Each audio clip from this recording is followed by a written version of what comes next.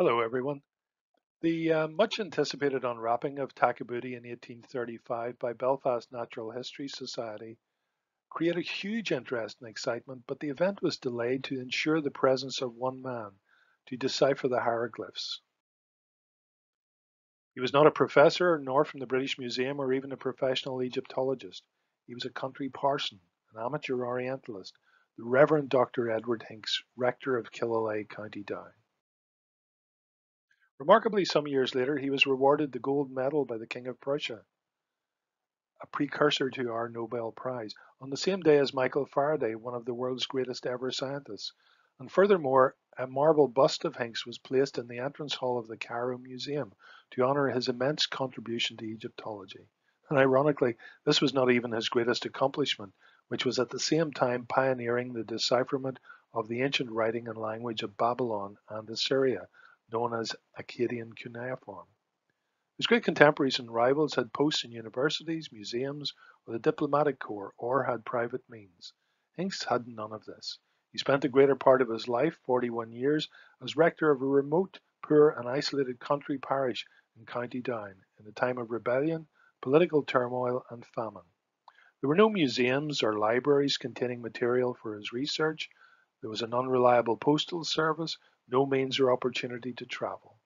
He never visited Egypt or Assyria to see the buildings and inscriptions on which he worked. He never completed a popular account of his discoveries, and he appears to have become frustrated and bitter in his dealings with the British Museum, and particularly his rival Sir Henry Rawlinson. All of these things have contributed to his obscurity. His personal life was not easy either due to his wife's mental health issues and his constant financial insecurity.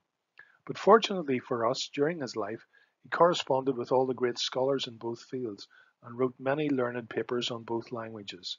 The list of his papers published after his death ran to 15 pages. Sir Austen Henry Layard, the excavator of Nineveh, considered him the first man to discover the proper method of deciphering Egyptian hieroglyphs and the scholar Professor Sayce called him the founder of the Assyrian grammar. Now, the history of Ireland never really meanders quietly along, and there are fairly frequent cataracts of fervour and rebellion which touch the lives of many generations. So Hincks, born in Cork in 1792, grew up in heady and turbulent times with the 1798 rebellion, the Napoleonic Wars, and land issues.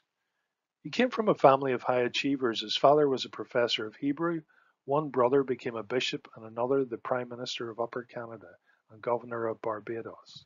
Hincks excelled at Trinity College Dublin, coming first in the entrance exam aged 15 and winning many awards.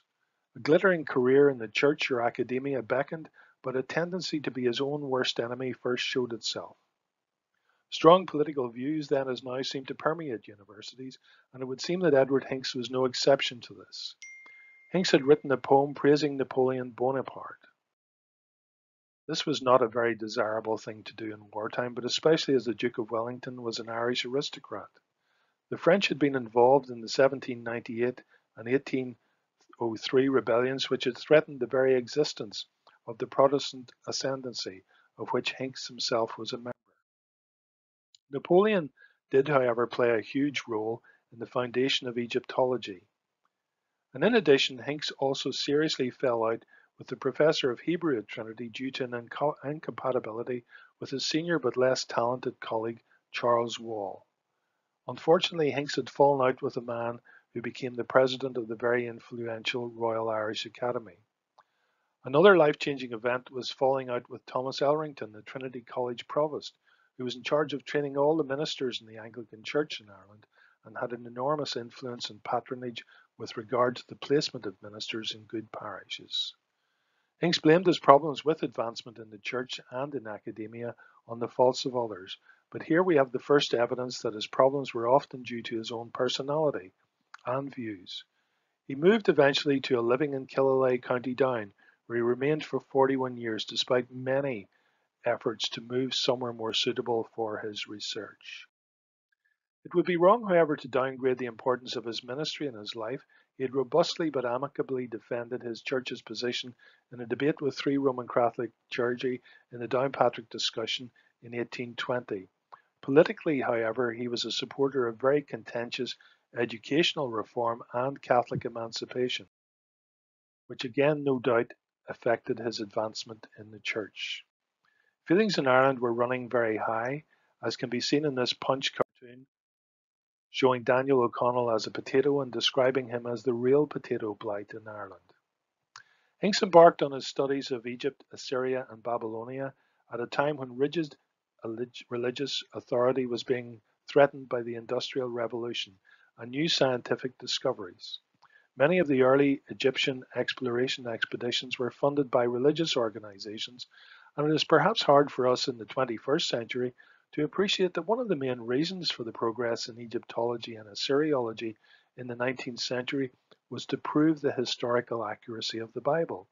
In Ireland, particularly where Archbishop Ussher in Armagh had fixed the date of creation at nightfall on October the 22nd, 4004 BC, the single-minded interest of Hincks in Egyptian chronology and past astronomical events with the potential challenge to the Bible narrative again caused unease within the church.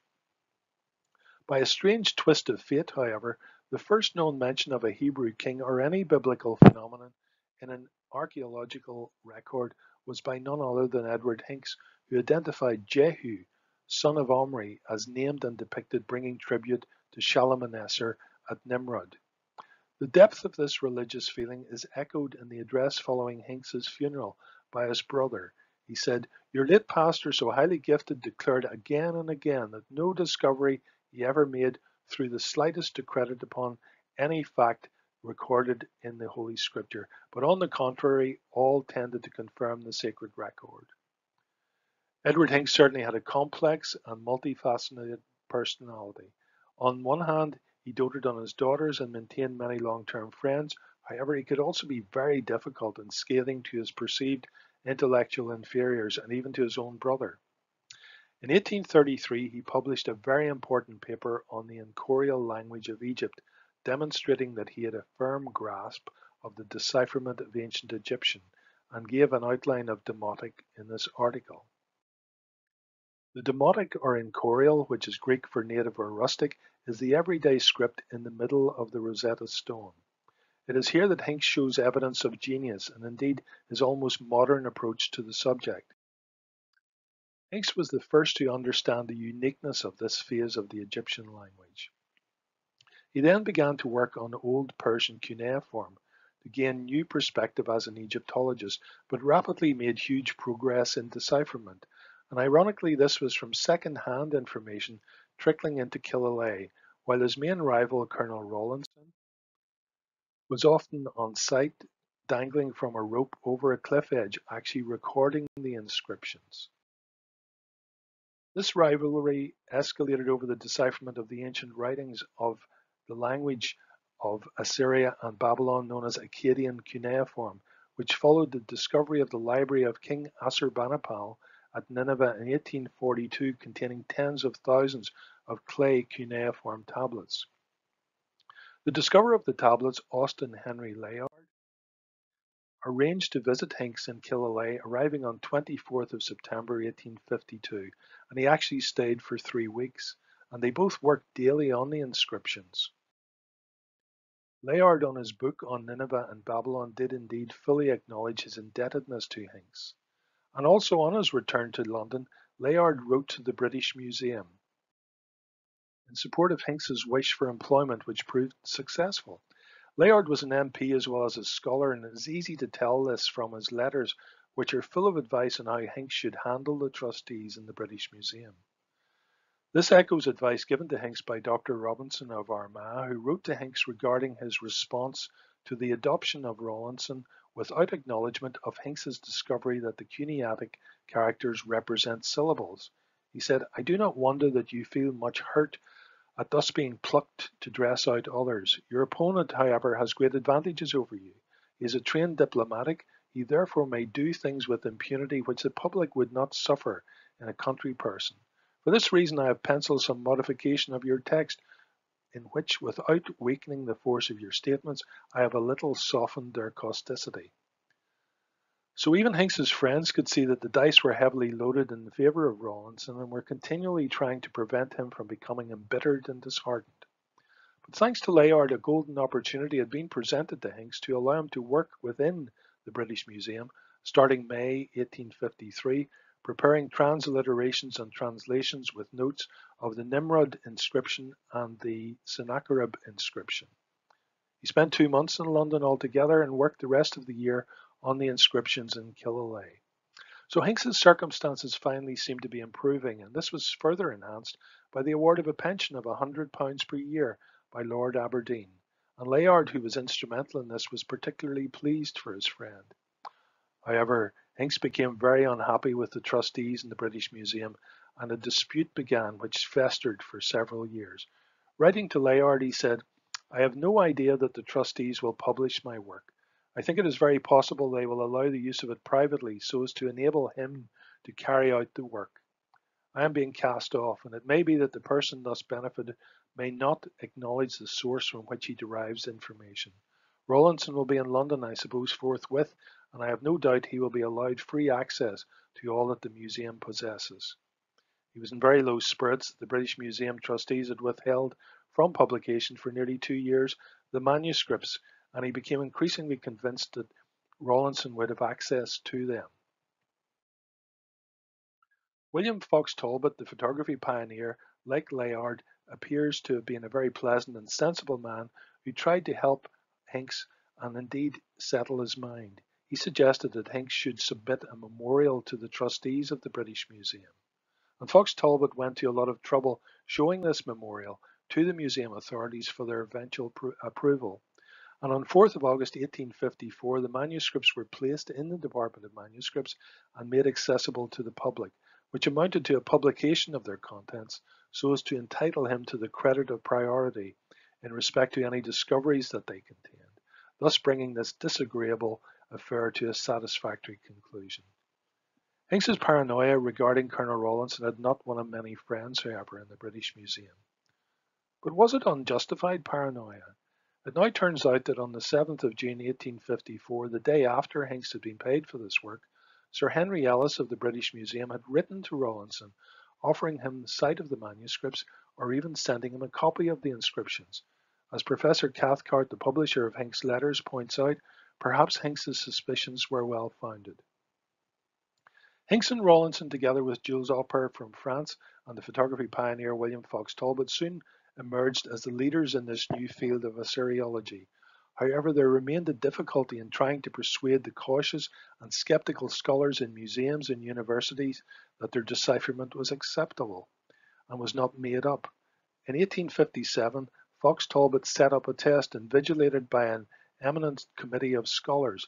An unseen inscription was given independently to Hincks, Rawlinson, Oppert, and Fox Talbot, and their translations compared. They were found to be very close, especially that of Hincks and Rawlinson, proving that their decipherment was accurate. Despite increasing ill health due to probable chronic gallbladder disease and recurrent depression in the latter part of his life, he continued with all his research, but it is clear from his voluminous correspondence that he continually worried about the financial security of his family. Edward Hincks had heard that the deanery of Armagh was vacant and he applied. He hoped that this would give him more time for his researches and his longed for financial security for his family.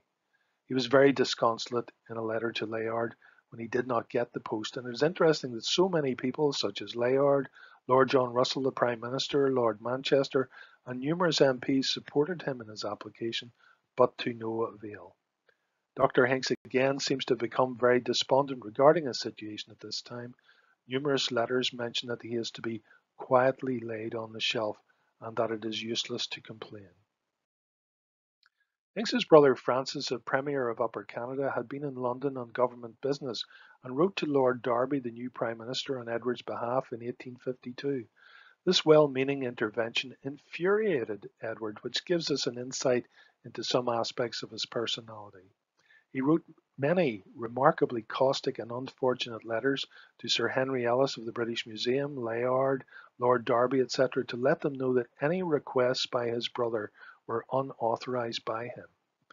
It is a testimony, though, to his ever inquiring mind and the wide scope of his knowledge that he was also working on a paper on the acceleration of the moon's rate of revolution and the retardation of the rate of rotation of the earth in the weeks before his death. On 30th of November 66, the last entry in his now lost diary was unwell to bed at 9.15. On December the 3rd, he died suddenly and peacefully while reading in bed and ironically, his bitter rival, Colonel Rawlinson, was partly instrumental in obtaining a pension for his family. Edward Hincks exhibited several exceptional gifts that shaped his life. He was a superb linguist, fluent in 13 languages, including French, German, Italian, Gaelic, Greek, Hebrew, and Latin and Sanskrit, etc. Coupled with this, he was a successful code breaker, winning an unbreakable code competition prize of £100 as a young man, a very considerable sum in those days. He was also a published mathematician and a highly regarded astronomer. He could therefore see connections and patterns in obscure writings that others could not. He was a scholar's scholar and did not produce any great textbook or work accessible to the general public to bring him widespread fame and success, and he did not have the people skills to advance his career within the church or academia. He was hailed as a great man of letters in his lifetime, but there is a marked sense of unfulfillment about him. His amazing legacy, however, is that he reveled in being a problem solver, and he produced groundbreaking world class work in Assyriology and Egyptology from his rectory in Killyleagh.